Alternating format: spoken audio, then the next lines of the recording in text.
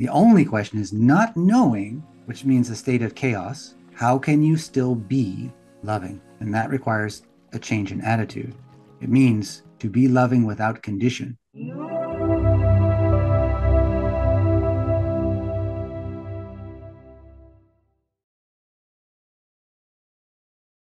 I'd like to welcome back to the show returning champion, Richard Haight.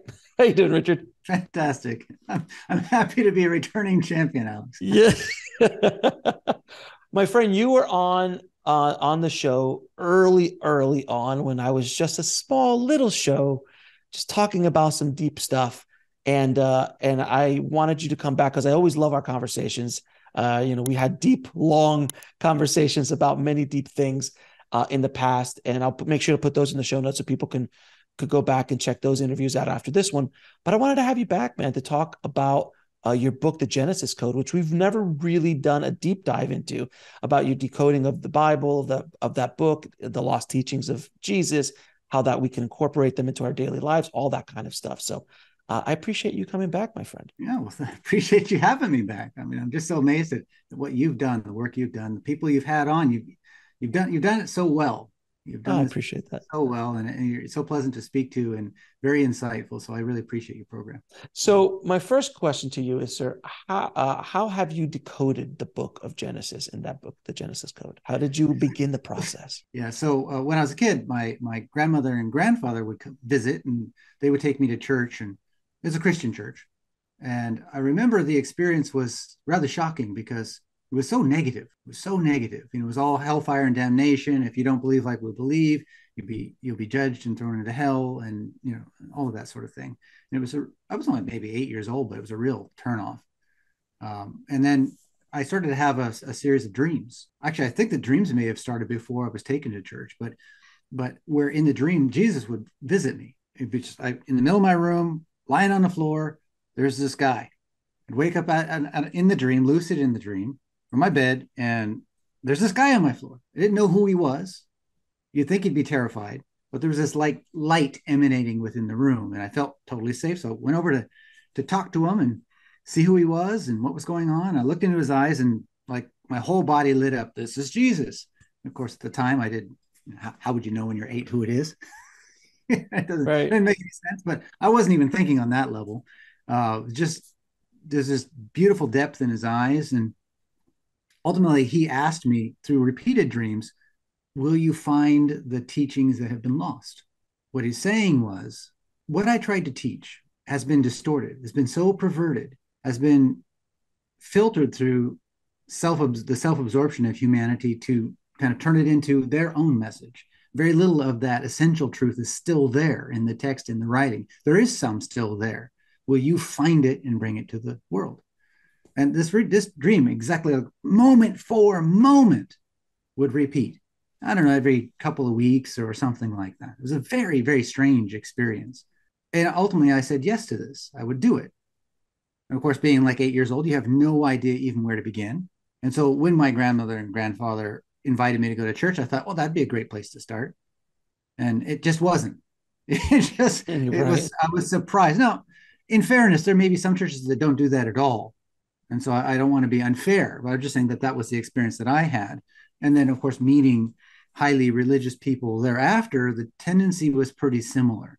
There was a lot of judgment, a lot of this idea that we know the truth, and and if you don't abide by what we know to be true, you're going to hell. And you know, you're you're you're the son of Satan or something. It's sort of that kind of that kind of concept, whether they actually think that way or not, that's sort of the feeling that oftentimes comes across, and sometimes overtly comes across. Um, and so that's kind of where I started. And then I would go through and read the Bible over and over and over again, and I was more confused than not by it because there's so much conflicting information. I mean, mm-hmm. if if you if you read it as you're kind of told to read it, and you take for granted that what your pastor or reverend or rabbi is saying is the truth and you know they're they're able to kind of pull things out of context and whatnot maybe it will seem like it makes sense to you but you need if you read it actually like contextually and you read it to see where things don't add up it starts to be really confusing. And I, I couldn't understand how this book could be so respected, how this book could be followed by so many people, but with all these inconsistencies um, that are self undermining. Read a book of, actually after I wrote the Genesis Code, uh, a few months after I wrote the Genesis Code. I read read some books by Bart Ehrman. Are you familiar with him? I am not. Oh, uh, misquoting Jesus. It's a brilliant book, and he's he's a religious. You know, he he went to seminary. He became a pastor. He, you know, he, he did the whole rigmarole, but then he got very interested in all the hypocrisies and all the inconsistencies and started researching it and getting into biblical archaeology and and and and and, and seeing the there are thousands, it turns out thousands and thousands of manuscripts that that go back to like 70 AD up to like, you know, 1600 or whatever, but lots of different manuscripts. And what's happening is the people that were transcribing these manuscripts, they themselves necess- couldn't necessarily read. They're just copying the scribbles. Mm. And of course, some of them could. Some of them, many of them, would just insert in their own ideology in various points. And you, because you could find it in this version, it says this, and in the next version, you can see it's been crossed out, been erased off of the parchment. Because you know, it's not like that a, a, printing press back then. They had to reuse the same scrolls and parchment. They would scratch it off and then write over it with something else and change the text meaning entirely. And you can find this going throughout. So it's very difficult, makes it very difficult to find out what did what did Jesus actually say? What were the original texts, not just Jesus, but you know, in the 2,500 years before Jesus, what we call the Old Testament. What was actually what was actually originally the text? We don't know. We don't know. But I didn't find out about that until after I wrote the Genesis Code. Mm-hmm. What inspired the Genesis Code was a, another. I, for some reason, I have a tendency for mystical experience. I have a tendency to have like you know, I might I might be walking somewhere, I might stop, and then you know I, I'll go into this visionary state or oftentimes it'll happen in dreams where it's like a lucid dream, but it's a mystical message. I don't know why that happens, but it does happen. One night I was I hadn't even been thinking about the Bible, I hadn't been thinking about mm-hmm. Christianity, you know, for months, maybe even years prior to that, because I'd I kind of gotten disgusted with it because it was so confusing. There was so much judgment. I don't necessarily think I mean, Christians kill Christians. Mm-hmm this this happens just like you know buddhists kill buddhists and the you know muslims kill muslims because you, i'm right and you're wrong like this right. is this, this can't this can't be reflective of truth as far as i'm concerned it cannot be reflective of a healthy way of viewing things. If something's gone astray. So i had kind of really given up on the on the bible and mostly i mean like even more so than the new testament the old testament because you know there there are some horrific stories in there. If you really go through that book and read it oh yeah. and i think most christians haven't you know there's a, there's an old guy who's bald the kids are teasing him and so he calls on god he asks god to kill him and god sends down a bear that that eats the kids it's very godlike. It's very godlike. Very godlike. And so I, there's something amiss but one night i just couldn't sleep. I don't know why. I'm just this often happens before a mystical experience will start if it ha- if it's going to happen at night. The mystical experience for me usually happens between 2 and about 5 a.m don't know why. And and there are some years in my life where it's like every other night that's what that's the case. Mm-hmm. um, but this on this particular night i'm not thinking anything. There's no anxiety in my body. There's nothing you know nothing disturbing me i just couldn't sleep surely i wanted to sleep but i couldn't sleep and i don't know two three o'clock in the morning it started i saw the bible from the opening from the rear and flipping page by page to the front very rapidly. And it got to the very first story of Genesis. Now, I never liked the story of Genesis, mostly because it seemed like there are, even within the story, different there are different stories that are not necessarily in alignment. And it was very confusing for me. But I could see when reading the text, like certain sentences were highlighted, almost like a, a gold, uh, not a gold, took a yellow highlighter and mm-hmm. highlighted it. Certain mm-hmm. sentences that were highlighted, all from Genesis 1 through 3.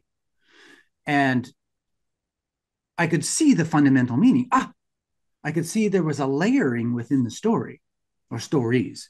There's there's a layering of like maybe we, we might describe as mythology, a layer a, a, layering of cultural values, mm-hmm. right? a layer that, that that layer of cultural values, for example, would put forward the patriarchal point of view, um, mm-hmm. how men should behave towards women, how we should behave towards our environment. These, these sorts of teachings are in there. But but in between those teachings, there's something still deeper that it seems like everybody's missed. And that's what I call the code, the Genesis code. And it's right there in the text. When, when you see it, once you see it, the beautiful part about it is once you see it, you can't not see it. Have you ever had an experience like that where oh, yeah. is, you didn't never notice it before, and then suddenly it occurs to you, and they're like, "Holy crap! Like this is so oh. obvious. It's so obvious that I can't see it. I can't unsee it." It's like when you're watching a movie and someone tells you, "Oh, you see that right there? Oh, look, there's a like I can never unsee in Die Hard uh, the stuntman fighting the bad guys. Like I can see the stuntman's face. It's so oh. obvious. It's not Bruce Willis. I can never unsee that. But when I first saw it, I never saw it. But yes, now, so everybody listening, go watch Die Hard. There's a every time he's fighting, it's the stunt guy's face. It was in the 80s when they didn't care as much back then. I'll yeah, never be able to unsee like that. that. So there you go. the first time you watch it, you didn't notice though. That but at right. some point that light that light clicks on and it just never turns back off. It's it's just like that. And and so that's where the Genesis Code book came from because I woke up from that vision that vision and immediately went into my office and got a copy of my Bible and read through Genesis. And that text was there. I got a different version, read through that, got online and checked Bible Gateway they got a thousand different versions on there. It's in all of them. It was utterly astonishing. And so over the next period of the next year or two, I just the, the book started writing itself. I mean, basically, you know, that, that's how most of my books are. They just they just that's how all my books are actually. They just take on a life of their own, and I don't know where they're going. Um, but that's that's where it began. So, so we're talking about these inner teachings. Uh, are these these are in Genesis, but yeah we're also talking about Jesus is lost, uh, yes. which is not which is not Genesis. That's New Testament as opposed to yes. Old Testament. So first first question is how what is the some of the big revelations you found within Genesis, and then we'll go into Jesus's lost teachings. So the first, uh, the first most important thing is when we read Genesis, it's helpful to recognize that there are three Genesis stories: Genesis one, Genesis two, Genesis three. These are three different perspectives. The first perspective is the pers- perspective of whatever we would call a non-personalized God or the Creator God. The next mm-hmm. perspective is the perspective of a human being in the garden and the, the Creator within the creation. Mm-hmm. Right the next perspective is of what I will call a an abstraction layer that develops. And now the, the abstraction layer is so I, I doubt you could argue with this point with me, but I mm-hmm. encourage you if you can. Mm-hmm. There's reality. We don't understand what reality truly is. Mm-hmm. But the key point is we are that. Right. Whatever it is. Whatever it is, whatever it is. It. Yeah. Whatever it is, we're it. Mm-hmm. So there isn't no separation between the totality of being and the individual human being. Interesting. That's a you're absolutely right. Whatever the tree, whatever the tree is made of, we are made of the same thing. Whatever made. the air is made of, we are made of the same stuff. We are all That's made of the same quote unquote code or whatever you like to use it. Fundamentally the same spirit or being or whatever. Sure. Now, whatever that is. People will say, okay, well, the universe isn't conscious, but I am. And I would I would oh. say that back to them when you speak and when you think, have you ever considered that it is the universe that is speaking and thinking through you? Because that is what's happening. You're a bag of atoms. How is it a bag of atoms can self-reflect? How is a bag? How is it that a bag of atoms can say, "I hate the universe"? Well, if you're if a bag of atoms is saying that, it's kind of funny because you're saying you hate yourself. Right. And then also, and the other thing is too that a lot of people argue that human beings are the only thing that have consciousness, but that's a, absolutely a distortion because does the blade of grass that turns to the sun there's a form of consciousness there. Mm-hmm. Animals have a form of consciousness. Trees have a form of consciousness. Yes. Even land has a form of consciousness.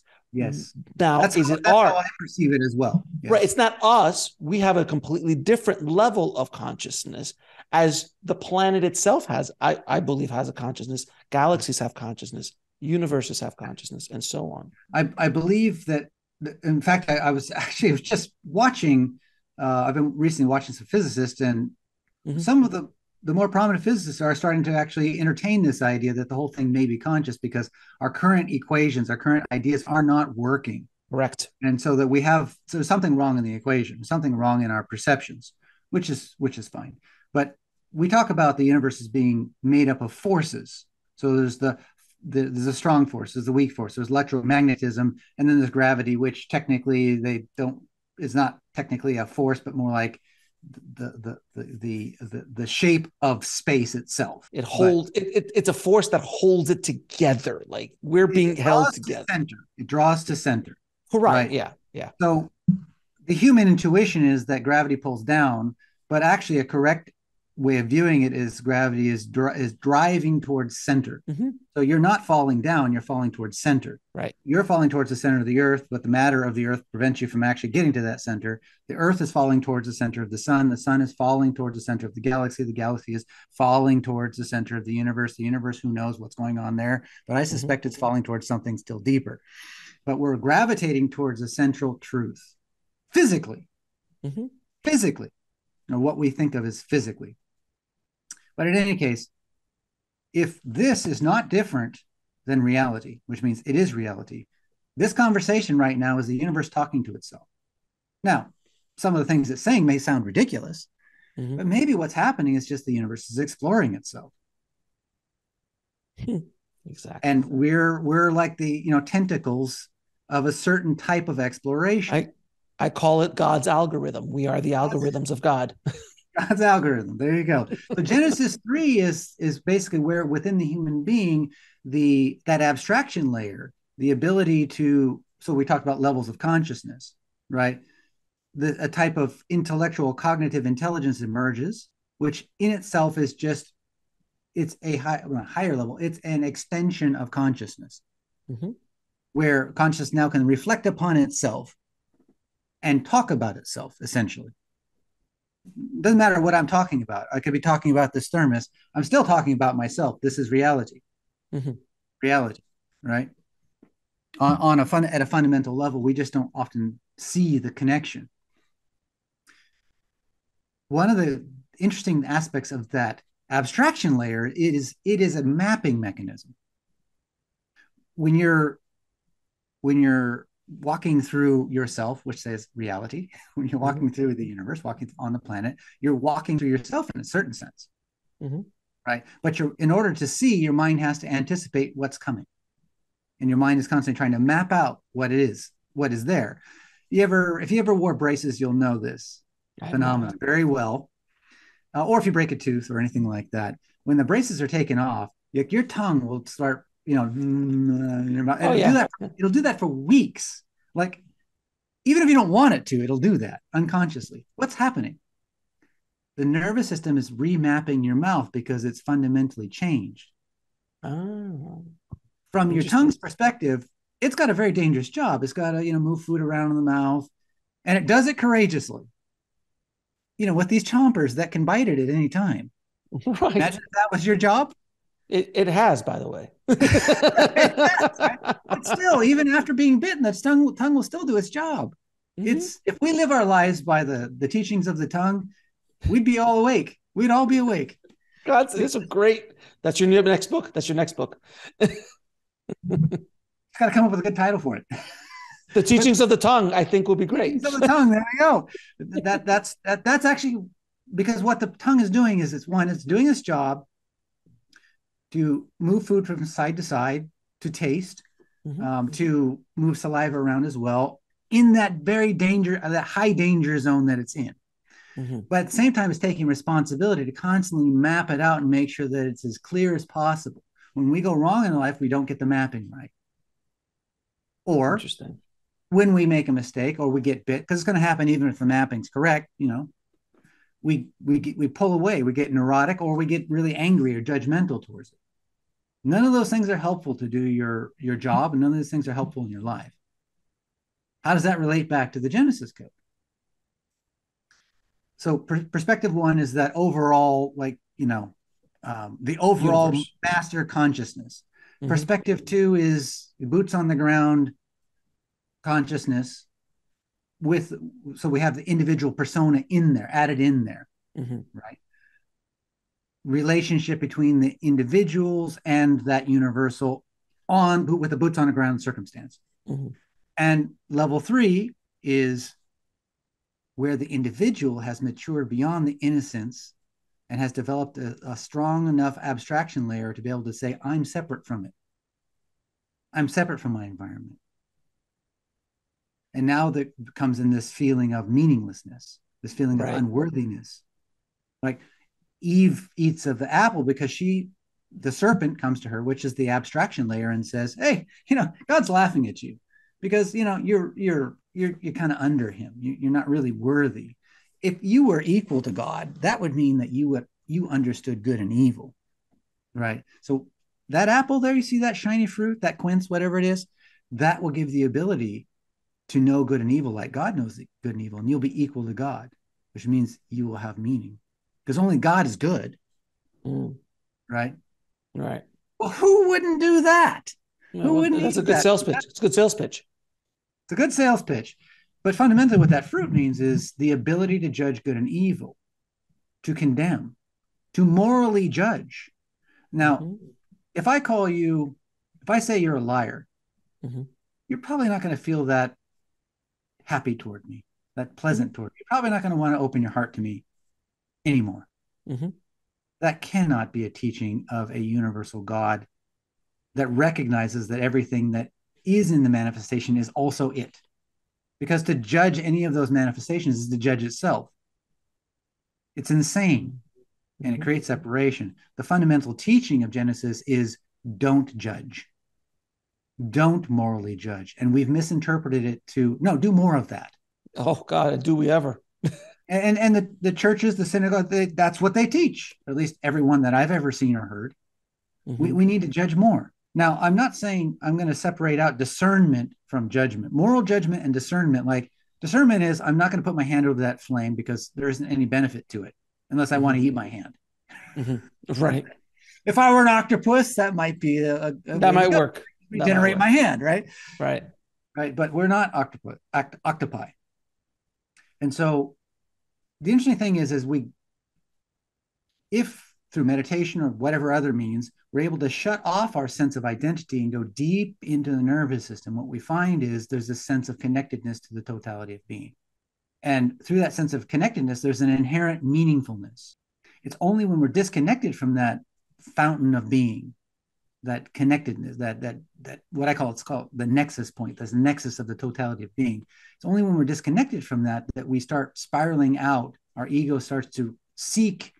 Like you ever wonder why there's this strong um, correlation between saying somebody's name, like Alex, right? Mm-hmm. Saying somebody's name and them liking you. The more you say their name, the more they'll like you. Why is that? Because the name gives them a sense of, of individual importance and we're seeking this sense of being seen. You ever wonder why young, you know, like teenagers who start driving, they they might take the muffler off their vehicle and drive around. Oh. And, ah! It's like they're saying, "Look, I exist. I exist." If you don't oh, acknowledge so that, me, so, I'm going to make you acknowledge me. So that explains the neon underneath the cars and the big gi- giant rims and the hydraulics and all of that stuff. Sure, and you know, becoming you know famous and you know being seen and you know all it's all the same mm-hmm. thing. It's it's essentially i don't feel a connection within me so i'm going to get i'm going to outsource my sense of connection. I want to feel that i'm meaningful. I want to feel that i'm valuable. I want to feel that i'm good that i'm loved that i'm worthy and all of that. But fundamentally what it means is we don't believe we are. So we don't and, believe and, we're worthy and the thing i wanted to, to, to, to dig into here because that's basically the fundamental thing that advertising does mm-hmm. in everything. So when people have to wear brands or have to be because the brand has recognition. So if I wear the brand, then I will associate myself with that brand. Yes. And and if I have to drive the fancy car or have the fancy this or that, uh, or being famous on TikTok or being famous on Instagram, and it's all look at me, look at me because I don't. And as opposed to you don't see a lot of you know, spiritual masters, generally speaking, uh, do things like that because yes. they don't they don't dress in Gucci. Uh, right. They don't have Rolls Royces. Generally speaking, some do, and they are who they are. um, but others don't. So that makes a lot of sense. Like for me, I could, I could care less what clothes I wear. I'm like looking at a black shirt. I'm like, oh, does that fit great? Let's get 10 of those. I'm good. Yeah. Um, because I just don't even, it doesn't, it means nothing to me. My kids are like, what are you doing? I'm like, I don't, I just don't. this is hilarious. what you just said to me is a conversation I had just before I met with you today. I, yeah. I went, went, out and I had like a purple t-shirt on. My wife's like, you're not going to wear that on the podcast, are you? she but, goes into my closet and pulls this out. Says, "You know, wear this." I'm like, I'm like thank, thank, God for wives because I would be the same way. Like sometimes she's like, you, "You're walking out of this house like people are going to think that no one loves you." That's right. Actually, I rather like this shirt. I think it's a handsome shirt, but it's a fantastic shirt. But that's the thing. It's just like that's not you know fancy cars. That I'm not. I'm past that stage yeah. in my life yeah. anymore. I think the, more, the more we ground with the center of the being, the less and less we have a tendency to seek meaning, seek value, or uh, or try to project our identity onto the world. It's fascinating, and it's such a powerful teaching. That one teaching is so powerful because it's you know you so many people go after brands, the consumerism, all of that kind of stuff is based around the lack, not only it's based around fear as well, but also based around the fact that you want to be seen. Yes, you want to be seen. And that becomes your highest value. Right. And that becomes very, very dangerous because once that happens, see that abstraction layer, what we call the mind, has this ability to see itself as a subject and everything else as an object. So we have a subject object relationship with reality. The problem is you are reality. There isn't actually a true subject and object relationship.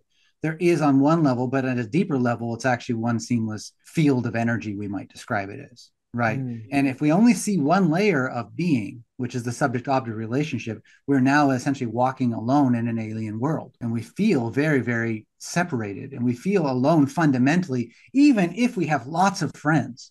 And what that does is it distorts our logic and reason. This is why even scientists these days are uh, oftentimes not able to speak the truth when it's obvious. And we've been through that over the last few years.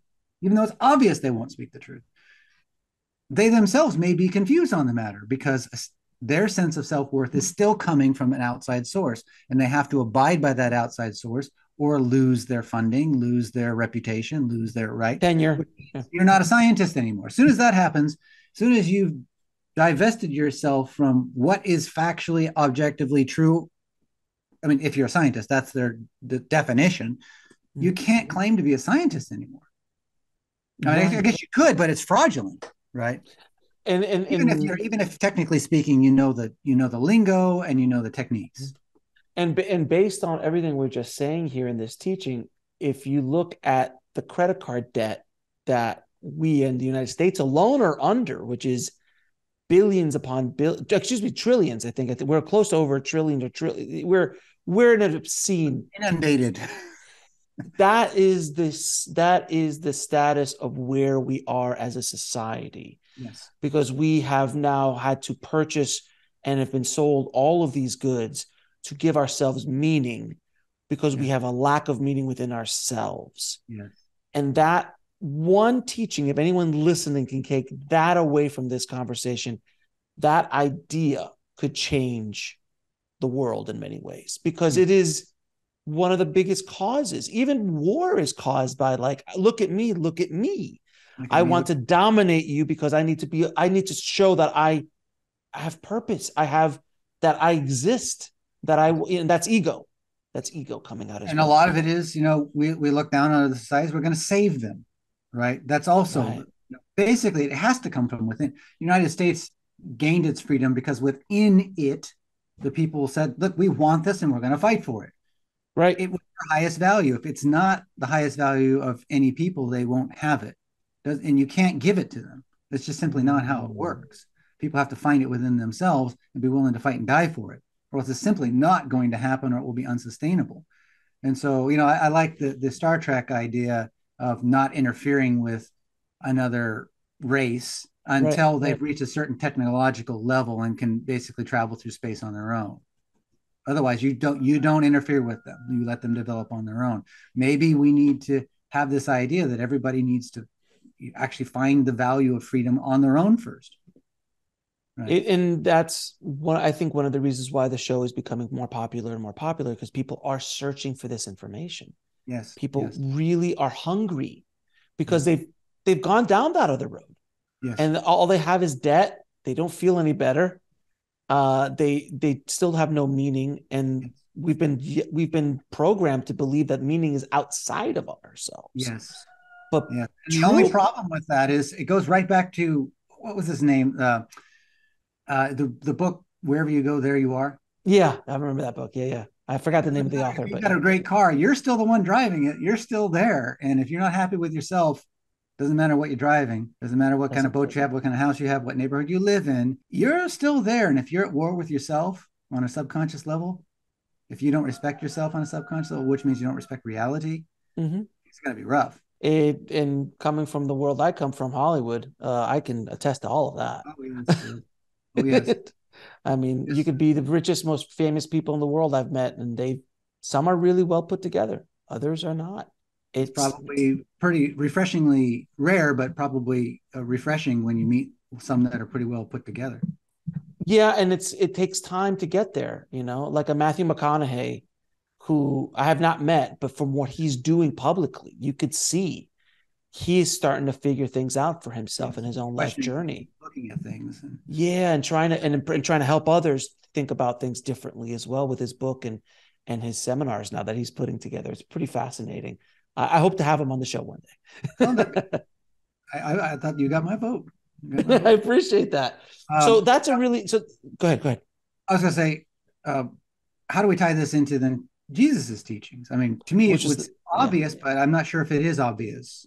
Okay, so yeah, so we we've kind of dug into the Genesis. So those are the those are some of the major uh, ideas in the Genesis in the Genesis code. Did you go past anything else in Genesis, or was only Genesis? Did you go into other areas of the Bible to try to see yes, if you could find? I, no, yes, I did. Like for example, the, the, are you familiar with the character Job? Yeah. So the the interesting thing about so going back to Genesis, in Genesis is a serpent, mm-hmm. but the serpent nowhere in the Bible is a serpent obviously mapped onto the idea of the Satan. Right. Right. Nowhere is it mapped onto, but we associate the two. Why do we associate the two? It's because the serpent played a trickster character. But there's an angel in God's hierarchy, so we could look at the we could look at the angels as the as facets or expressions of God. Mm-hmm. They're servants of God. They don't do what God doesn't want them to do. One of the angels is, is called the Satan in in Jesus uh, in in Hebrew, the Satan. The Satan was scouring the earth. God calls upon him and says, Where were you? He says, I was, you know, scouring the earth. And I've got this guy that I found that uh, you think he's great. This guy named Job, you think he's great, but uh, I think he's going to betray you. He just needs the right stimulus. So, you know, I want to test him out because you, you say this whole thing is good, but I'm, I'm looking at this guy, the guy who's like the best of the humans. And, you know, I, I think I, if I could tempt him, he would, uh, he would betray God. He would betray us. So God's like, okay, go ahead, take anything away from me you want, but on the person himself, don't lay a hand, don't harm him. But you know, take away all his wealth, take away all his things, and and we'll see how he does. And so the Satan goes to Job and takes his children, takes his livestock, takes his house, and, and all the while hoping that Job is going to prove him right. But Job never cursed God. Job never cursed reality. Job never judged himself, which means he was following the law. Mm-hmm. And that's fundamentally that's a, it's like it's of course it's an objectification of God in a sense. It's it's it's it's an allegorical story. It's like you, you, it's hard to understand. People don't understand. I found this when I went to Japan. A lot of the old plays and stuff like that. They're ridiculous. Mm-hmm. They're ridiculous. They take these basic ideas and they turn them into characters, right? God is representing reality in this case. When you stub your toe, mother, do you do all that? Right. Damn it! Why does this always happen to me? And you know all of that. Yeah. So we start going into this very negative, judgmental state against reality, as if you know we're victims. We self-victimize, victimize, right? That's fundamentally simply stopping doing that will change the quality of your life tremendously. The next time someone lies to you, instead of saying they're a liar, which doesn't endear anybody to you. And instead of thinking that, just you might just think that might not be the truth, right? Instead of labeling each other, you're this, you are that, which is like rampant in society now, Mm-hmm. right? We might remove the labels and just recognize that whatever it is that's looking out their eyes is the same thing that's looking out your eyes. That's reality exploring itself. You're them, they're you fundamentally. And if you judge them, that there's a calculation in your in your nervous system, in your subconscious mind, that recognizes you're judging yourself. You don't love you. That's what it means. You don't accept you. You don't appreciate you. There's no way you can be happy under that circumstance. There's no way you can feel inner peace. Your nervous system will be disturbed. And the problem is that doesn't just go away, it like stays in the body. And you experience it as inflammation, you experience it as uncertainty, you experience it as feeling alone, you experience it as insecurity.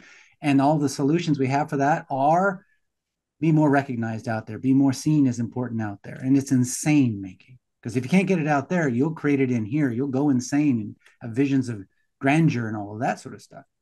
This is a holistic system that encompasses the body and the psychology and the environment. So, if someone's listening right now and they said, That sounds great, I want to find value inside of me, I want to uh, find that meaning inside of me, what do I do? The first step is to recognize that you are reality and that you don't know what that is. The second step is to realize that reality is reality and reality itself doesn't know what that is. The question is not knowing. The only question is not knowing, which means a state of chaos. How can you still be loving? And that requires a change in attitude. It means to be loving without condition, to be accepting without condition. You don't have to earn it, but it is a practice because we have habit. Like since you were a child, since you were since you were born, maybe even before for some people, um, we've been told you're a good boy, you're a bad boy, you're a good girl, mm-hmm. you're a bad mm-hmm. girl. If you don't do this, you're bad. If you do that, you're good. What that's done is it has actually changed our neurology. Our sense of identity is tied up in being good or bad. And now I know the equation to get good is to get approval from my mother. Then it becomes to get approval from society. Then it becomes to get pr- approval from God, approval from all of these external ideas. But the one place, the one thing that will never go away, you might get Alzheimer's, forget that you even have a mother. Mm-hmm. You might lose everything and never have anybody's approval. But there's one area that you can look to, and that will be required that you get calm, grounded, and centered. Open awareness in all directions, which is what the warrior's meditation that I teach is about. Calm, grounded, centered awareness comes from samurai training where you will find the unconditioned way of being, the unconditioned love, the unconditioned acceptance, the unconditioned appreciation, the unconditioned respect that ultimately will lead to a trust that will develop between the abstraction layer, which we call the mind, and the body itself, which has its own intelligence. A communication between the two will start to happen. And then that will start to open up a communication between the environment, the body, and the mind, and they will all start to unify and then you will feel meaning. You won't have to create it. Meaning is a revelation when you're tapped into the spirit of truth. And the spirit of truth is a recognition of the embodiment of oneness of being. Well, that was excellent, by the way. Thank you so much for that. That hopefully that helps somebody listening. Um, so let's get into the lost teachings of Jesus because I like to quote this constantly on the show. Yogananda said, Paramahansa Yogananda said, Jesus died, was crucified uh, in a day, but his teachings were crucified for the for the next twenty five hundred years. Uh, yes. It's it's yes. so true. So, what are some of these lost teachings? Where did you discover them? Did you discover them within the Bible? Did you discover them outside of the Bible? Uh, in, the Bible. in the Bible. Okay, so tell me. Most fundamental of the lost teachings, and the one that that will be directly is directly mappable and in such an obvious way onto the teachings of Genesis, which is stop moral judgment. Mm-hmm. Because in the in the third story of Genesis, God warns, if you eat of the knowledge of good and evil, which is you know the apple, you will surely die. What does that mean? You might have had the experience when you were a child, uh, up to a certain age, where you felt like everything somehow was magical like the world felt alive and vibrant and magical. And then at some point, that just stopped. Later on in your life, for whatever reason, sometimes this happens to people. It's oftentimes as a result of having a mystical experience or a near death experience. They come out of it and suddenly everything feels vibrant like that again. Mm-hmm. Right? Childlike. Child, yes, childlike, vibrant, clear. Everything feels magical, mystical, amazing. Mm-hmm. You feel alive. But even for people with near death experiences, a few months later, things normalize again and you're back into this mundane world. And that's the separation we're talking about. The brain has this normalizing process.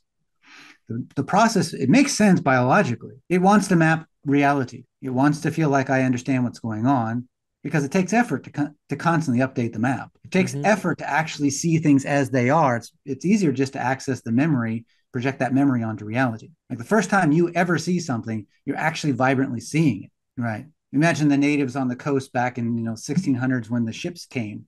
They're like they were really alive in that moment. They're paying mm-hmm. attention in that moment. Mm-hmm. That's what the hell is that thing? right. What is it that feeds our sense of the mundane and the dullness? Of course, it is the judgment. It is the judgment because basically what you're saying, you've, you've, you've, you've reduced this other person down to this little box label that you've given them that's a that's a leftist that's a right what do we call it that that, that a right winger. I, I, don't even, you know there's so many of these types of things that are going on. We mm-hmm. reduce them. We're no longer seeing them as, as even connected to us. We've objectified them and now we just throw darts at them right? But we're doing that to ourselves and it is a very very jaded way of moving through life. You're not really alive at that point. You've lost the innocence. You've lost the connectedness. You've lost the magic of life and you're just projecting so that you feel self-important. You it makes you feel like you know something to be able to label something. It's a dominance move. That's what it is. It's a dominance mm-hmm. move. Put somebody down so you feel better, right? I'm not sure that that's helpful, but how does that relate onto the New Testament? Thou shalt not judge. As you judge, so you will be judged. Mm-hmm. Those who are judged cannot enter into life. If you judge, you cannot enter into life. Now we view this mm-hmm. life as like an afterlife. No, no, mm-hmm. right here, right now, you are disconnecting from reality. The judgment is a moral judgment. I don't mean discernment, the moral judgment, labeling somebody, yourself and others. I'm such an idiot, you know, that, that all the, the those thoughts mm-hmm. fog your mind, fog your nervous system, and create this sense of aloneness and that aloneness was leads to suicide it leads to all forms of addictions it leads to compulsions it leads to inflammation it leads to lack of clarity it leads to self-defensiveness it leads to self-absorption it leads to because we need to get a sense of importance. Look at al capone. He considered what he was doing a service to society. He thought he was an important man. Look at look at uh, adolf hitler. He thought what he was doing was a great service to his society. He right. thought he was he was seeking important. Now we're going to find importance in one of two ways: one that's healthy for you, me, we, and or, and or one that's not. But it's unlikely that we're going to say to ourselves, "Yeah, none of that was really good." so, so let me, very few people can do that, right? So let me ask you then: Why is there such a need by a human being to find important, uh, to find to be seen, to find importance? Yeah, why is that such a core? Like uh, tigers and, and lions and elephants don't have that you know other part other species in this on this planet don't have that. Why are we so specific that it is almost in it is like one of the great barriers or great challenges to be a human yes. is to deal with this thing? Why is it so inherent in us? Yes there are there fundamentally two layers to to, to the answer. First is that comes from the abstraction layer that layer that says i am separate from reality the layer it doesn't even necessarily say that it just sort of intuits that right? Because it is a, a, a, it is a mapping mechanism that is capable of seeing things that are not part of reality i.e planning. You know on next week I'm, i want to go to such and such a place. Well that's not the current reality we're projecting into a possibility in the future to plan but but that ability to project into a reality that isn't comes with it also the ability to spin reality to manipulate reality to lie mm. you're not you're not actually changing reality with a lie not directly, but you are brainwashing yourself to see it in a way that it isn't, which means you're brainwashing yourself to see yourself in a way that you aren't. And the reason we are seeking a sense of importance is we've every time we shame, blame, guilt, do arrogance games, which put ourselves up or other people up, put other people down, that sort of thing, or ourselves down, victimize ourselves or others. Every time that we play these games, it's like we've just folded. Like imagine your being as a paper. We folded that paper. On that paper is written you, me, mm-hmm. we, one right? You folded it. You can't see you, me. The first fold, you can no longer see you, me, we.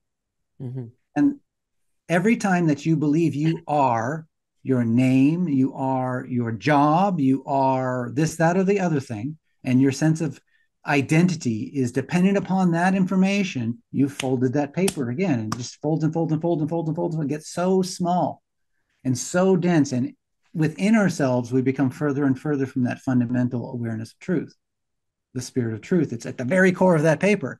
The way forward isn't to acquire more identity. The way forward is to unfold the paper and go, oh, wait, fundamentally, I'm really not a father. I'm really not a mother. I'm playing that role. I love my son, but truly, he's not even really my son. He's me in another body, right? This is the universe it's expressing. And so I, I respect this one. My job isn't to make him me in, in the external sense, but to allow him to express himself in the fullness of being because his body's different than this body, different set of filters. you're not going to necessarily want to do the same things I want to do. That's a revelation for him, which means the revelation for me through his body. One of the big concepts here, and I want to just really highlight this because it's so important. So many of us, like we've been talking about, feel disconnected mm-hmm. and the delusion that we are not all one. Yes. And that's been an abstract concept. Yes. It's an abstract concept. But what we've been able to do here, and what you've been able to say so beautifully and elegantly, is that what makes up the tree, what makes up the leaves, what makes up the animals, what makes up the air, what makes up the planet, is the same stuff that makes us up. We are all part of the same code, the same makeup, the same, just expressed in different ways. Yes. That is such a powerful teaching because it is an inarguable, you cannot argue against that. That's right. You truly can't. And if you can't argue against that, then you have to accept the idea that we are all part of the same stuff expressed in different ways. And if you can do that, then the delusion of separation could begin to crack and fall down. Is that fair to say? Yes, that's where it begins. It begins by fundamentally being very, very honest. Now, that, that the beginning of it is to be very, very honest. The second part of it is to recognize that we're that that that that observation itself is coming from the abstraction layer. It's like the abstraction layers become honest and go, okay, yeah, if I'm going to be really, really honest, I don't, I am reality. Everything's reality, and I don't really know what reality is. That's the beginning. The next part is to actually get really, really deeply in touch with the body itself and to respect the body because it has its own intelligence. Most people don't know this and never experienced it because the abstraction layer is so dominated the body. It's it's in a passive mode. It's like you mm. kicked your dog a thousand times. Eventually, it stops expressing. You know, it's it's in the shivering, you know, disrespected state. It has an intelligence that may profoundly um, outmatch the abstraction layer's intelligence in certain ways. And to get in touch with the body, which is why meditation is extremely important, especially if it's done with the right attitude, with practices that are less and less dependent upon being sedentary. Because we want to be aware of the connection of that we are.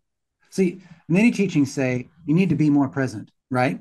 Mm-hmm. You need to be more present. Yeah. That's itself an absurd statement. Mm-hmm. You are presence. You are reality. Reality cannot be more reality. Right, but your mind is the delusion. The mind is playing this game, right? And so if we were to, if we're going to be really honest with the terminology, it's like, let's just acknowledge we are reality.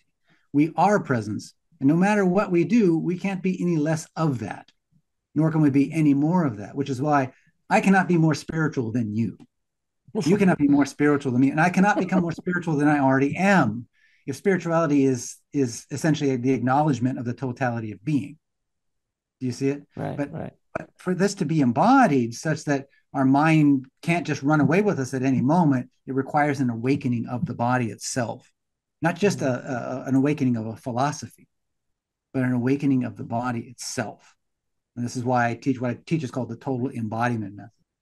But back was... back to the forces of science, the forces of, of physics. We look at that right now. We look at them as forces. It goes back to something we talked about the very beginning of this conversation. Mm-hmm, mm-hmm. We talk about the strong force. These are atomic forces: strong force, the weak force. Then we've got electromagnetic magnetism, and then we've got gravity. Well, what if they're not just forces? What if they're senses? Mm. I view hmm. the senses as well of as the universe. yeah. The senses of the universe. They're the senses upon which the normal five senses that we think of as well as the abstraction layer are built. There's no difference. We're just an abstract we're just an extension of those four fundamental forces. There may be even more that we don't know of but they're not just forces. It's disrespectful to think of them in that way from my perspective. Right. I mean if you look at gravity they can't explain it. They can say it exists but they truly don't know how it works in the scope of the universe. Yeah. why is there what creates it, what starts it, and then the whole concept of black holes starts in where their gravity and it can go on for days. it can and will go on for the rest of your life if you know and that's fine it's the, the fundamental thing is to recognize that we don't really know what reality is that's that's that's the basis of of science actually is to first say i don't know but I, am interested right. to explore right that's right. what really science is um, one of the one of the most important aspects of what I see of realities. In the Genesis code, I describe the creator God essentially as a conscious zero. It, it it's an, you might have seen the statement, I am that I am. Mm-hmm. Moses goes up to the mountain, finds a burning bush, reaches out to him. Moses says, You know, who are you so that I can give your message to my people and let them know who it came from? They say, It says, I am that I am. What does that mean? People don't uh, tend to take it for granted. What does that mean? What it means is I I am reality. I don't know what I am. I just am what I am. Reality mm-hmm. doesn't know what it is. It's a conscious zero, effectively.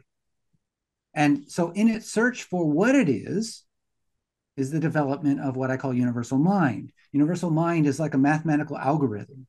It will project a positive statement about myself, I am, and a negative sense statement about itself, but I have no evidence of that case. Maybe I'm not. Where a lot of people lean towards.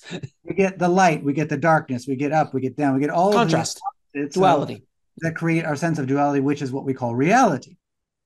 But it's coming from a conscious zero. It's not coming from an unconscious zero. Now, when I see it, it's actually coming in and out. This this the consciousness or conscious awareness of being comes in and out of existence at, at this unbelievable speed.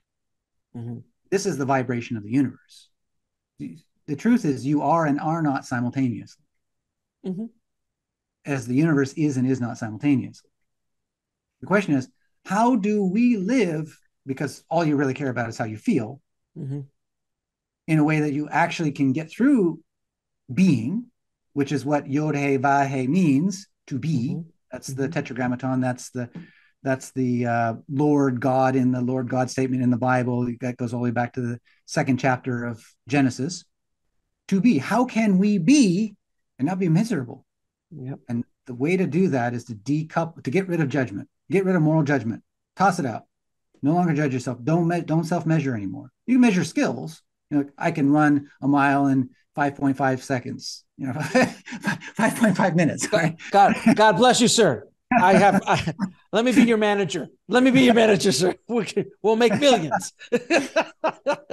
In fairness, I can no longer do that, but you get the point. Someone else can run a quicker mile, but that doesn't make them fundamentally better than me. No. in the expression, in the expression of the body, we are not created equal. Maybe we're not created. We're a revelation. We're an extension of being. We're a revelation. And you look at Hugh Jackman. He may mm-hmm. as well be a god on earth. I mean, that's not fair. We don't mm-hmm. live in a fair reality. That's not fair. What's mm-hmm. happening is the universal mind is exploring all potentials of being. Some of them are super intelligent. Some of them are super handsome. Super. Some of them are tall and strong and healthy and kind. And they can sing, they can dance, they can act. It is just unfair. And then you got me. and then you got me. That's Richard, I, I. I feel this is turning into a therapy session, uh, Richard. And um, if you need to talk about things with Hugh, I can call him for you, and we can work some Let's do a things out. with you. but you get the idea, right? And that's basically what's Oh, course. Right? So And so, th- th- uh, th- but real quick, that when you when people you compare yourself to others, that's where a lot of pain and suffering and delusion come into play.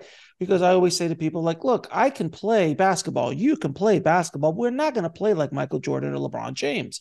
Like these are not. That's not what we are. We're not here to be expressed in that manner. You know, you and I could right now work really hard for the next year, train, and the chances of us getting into the NFL, Richard, are really low. No matter how hard, a minus number. is there a negative? We could train as hard, have the best professionals in the world, eat everything right. And I promise you, you and I will probably be in pretty decent shape at the end of that. But we're not going to probably get into the NFL. And that's and okay. probably, the, and probably the, the the the weakest player on the NFL on a sick day would still beat us. Absolutely. There's no question. You could play tennis and then you can play Serena Williams tennis. Right. Like there's just a different level that that- that's that's the way she was come she brought into it. And and the same way you and I are expressing our superpower, our mission in life in the way that we are. I challenge Michael Jordan to do what you do or to do what I do.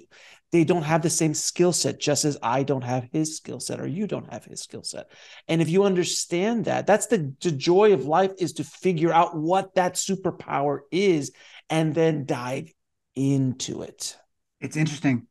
Um, I'm not even sure we all have a superpower. I, I, I don't even have that much faith. Or purpose, or purpose, whatever that purpose what, is. What I found, what I found is that um, it kind of goes to what you're describing as purpose. We're alive when we're curious, Yes.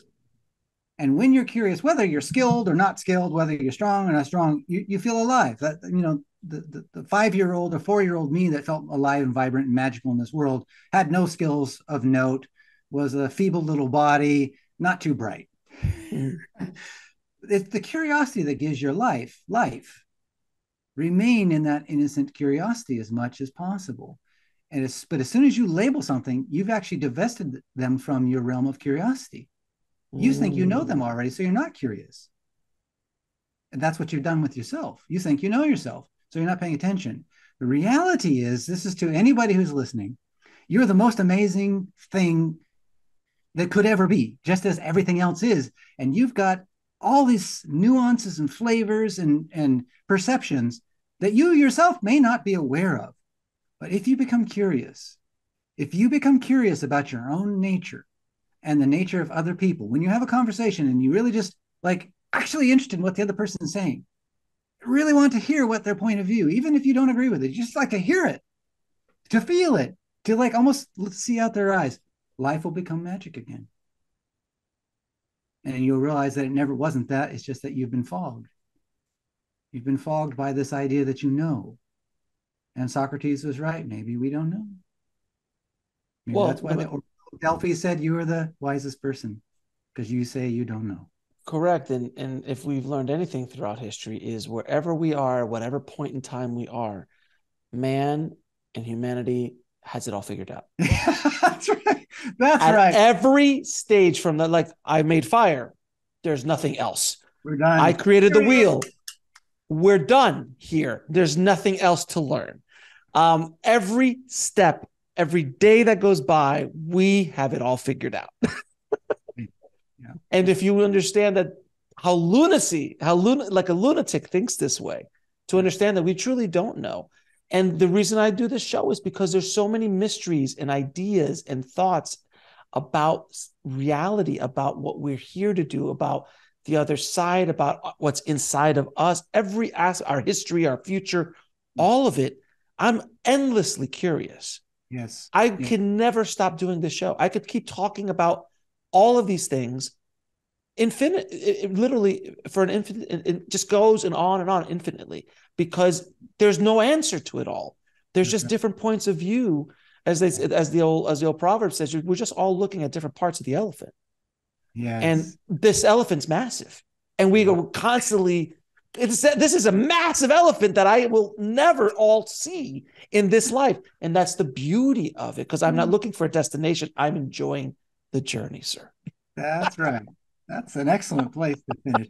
You think you just put put a perfect spot on it. So unless, um, there's, any, unless there's any other important questions we haven't covered, there's a, there was a lot we well, wanted. Yeah, there's a there's a tremendous amount we could cover. Um, th- so just to touch on, you know, finally with Jesus, what was one of his most misinterpreted teachings that you would like to, from your research, set straight for poor Jesus, who has been misquoted quite often throughout history?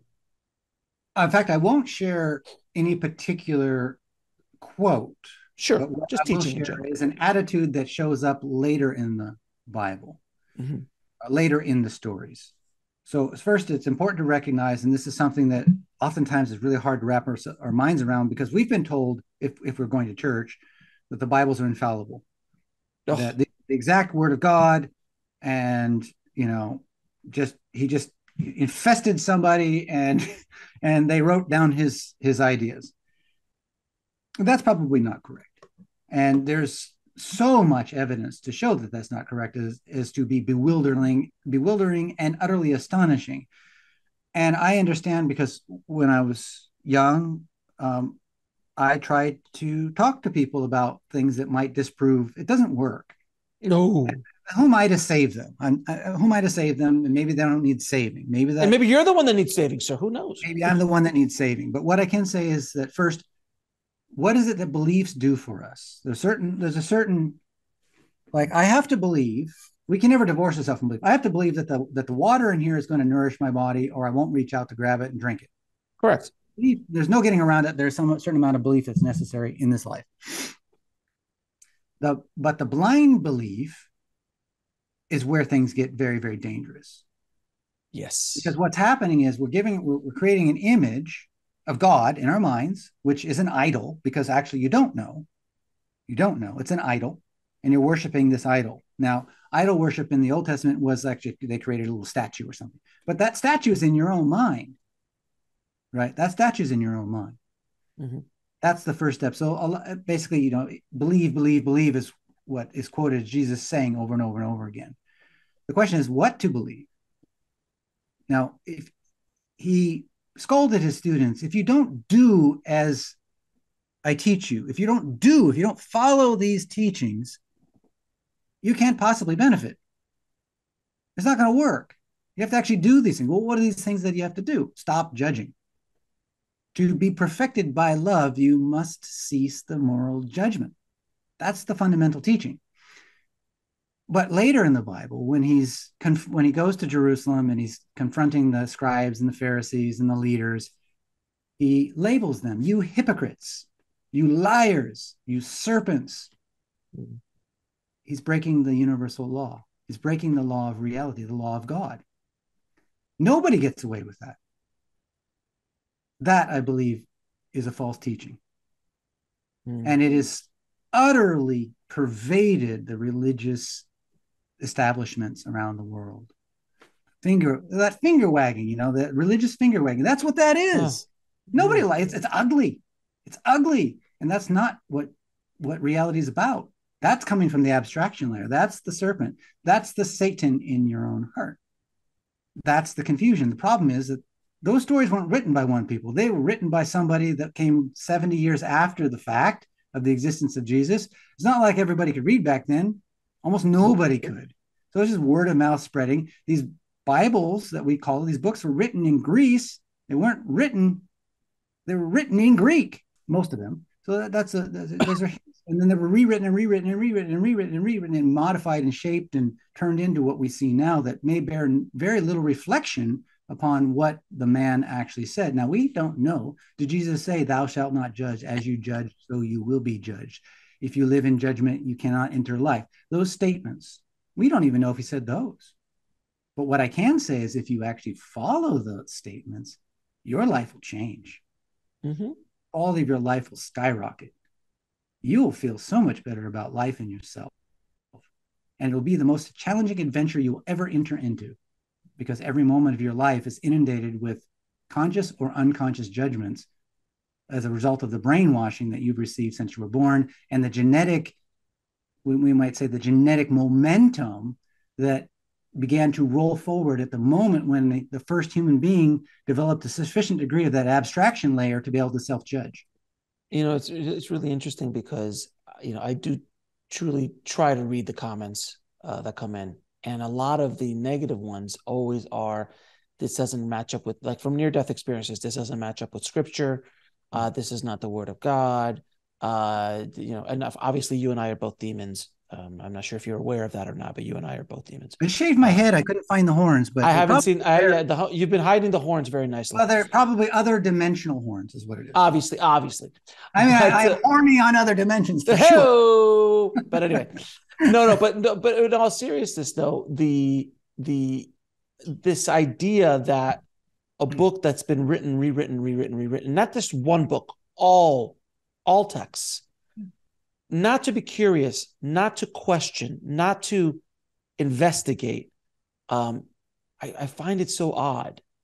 To... That's not odd at all. It, it actually makes total sense because if no, they do that, they get they get excluded from the church. I mean, even if not physically, yeah, I know what emotionally, you, you know, they're considered outsiders.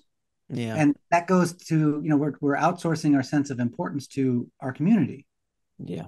So I need the respect of my church members to feel I'm worthy. And if I question their teachings, they're going to be angry at me. And now mm-hmm. I'm no longer worthy. So it, it all every all the issues we're suffering from in the planet right now, all of them, religious, political, it doesn't matter. Well, every single one comes back to the same point. Jesus, if he said this was an absolute, he was correct. He was just correct. And but it, then it's it's tribalism. But it's tribalism. That's why we one of the biggest fears, if not the number one fear above death, is speaking in public because right. of out being outcasted from the tribe because if you're thrown out of the tribe, you won't survive in on, on, a, on a on a on a on that level of uh, existence back then. So now it's now it's tough, right? You know, geez, even yeah. now. Well, yeah, I mean, if you're thrown out of your family because of your beliefs, yes, um, right. it's difficult. It's extremely difficult, if not, you know, very hard emotionally, and you're gonna have to deal with that baggage and thrown out of your your profession, thrown out of wherever friends, groups of friends. It is it is a very powerful thing that people who want to manipulate you do manipulate you with, uh, and go if you don't. Get the point. It is manipulation. Yeah, it's a manipulation. You're like, well, if you don't do this, then you're going to be thrown out, and if you're thrown out, you're just going to be out there by the wolves by yourself.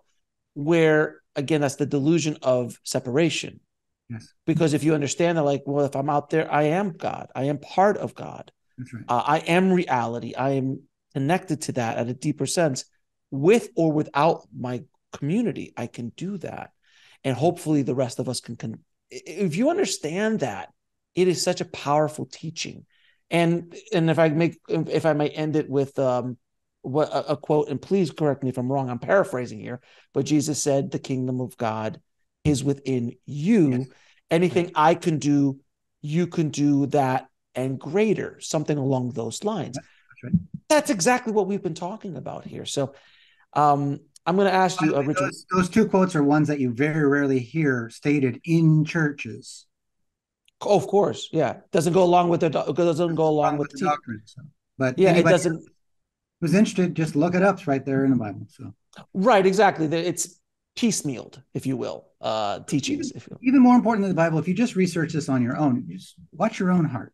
Watch how you feel about yourself in your own body when you morally judge or when you're morally judged and you'll see how ugly it is and you'll probably stop doing it um, richard i'm going to ask you a few questions ask all my guests sure what is your definition of living a fulfilling life curiosity if you can go back in time and give your younger self some advice what would that be I would, we wouldn't give myself any advice. I, I feel like every moment was really, really necessary. I had to have all the bumps and bruises I had. Yeah. Um, how do you define God? Reality. You, me, me. What is the ultimate purpose of life? That's an interesting one. I mean, it is the same. I, I wouldn't call it a purpose. It is what is happening. The universe is exploring itself. Mm-hmm. I, I, don't want to state that it is actually intending to do that, like it, it's a purpose that a human being. It is simply what it's doing by its nature, and that to me is that ultimate purpose. So as humans do that, we reflect reality more accurately. And where can people find out more about you and the amazing work you're doing, sir? RichardLHaight.com. It's H A I G H T.com. It's got everything. We've got I've got a free 30 days meditation training there that, that'll teach you the warrior's meditation. It's mm-hmm. a calm, grounded, centered, open awareness. You're able to move in it. You're able to have your eyes open. You're able to talk, walk, and chew gum at the same time. Ultimately, coming towards that center of love and awareness and curiosity that we've been talking about. 30 days of that. And after that, we'll see where it takes you. And do you have any parting messages for our audience? Yes, I love you all. Richard, it's been a pleasure having you back, my friend. We will definitely. Uh, I have a feeling that we'll be you'll be back again to have another deep conversation with me, my friend. I appreciate you and all the work you're doing, my friend. Thank you again. Thank you. All right. Thank you, Alex. My pleasure. Thanks for watching. Click on one of the videos below to continue your journey and don't forget to subscribe.